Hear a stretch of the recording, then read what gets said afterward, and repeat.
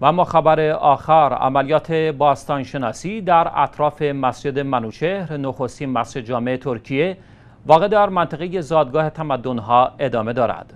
به گزارش ویوز به نقل از دیلی صباح با توجه به اهمیت تاریخی منطقه زادگاه تمدنها در ترکیه وزارت فرهنگ و گردشگری با همکاری مدیریت کل میراث فرهنگی و موزه ها در ترکیه اقدام به عملیات باستانشناسی در این منطقه کردند.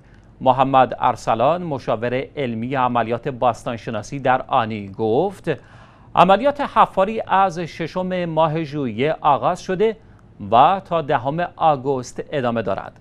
مسجد جامع تاریخی منوچهر در مرز شهر آنی ترکیه قرار دارد و این شهر در لیست سازمان یونسکو درج شده است. منطقه زادگاه تمدنها در ترکیه شامل مسجد ابو منوچهر کلیسای آمنا پرگیچ کلیسای جامع آنی کلیسای ابو غمیر پهلونی و کلیسای دیکران هوننز است.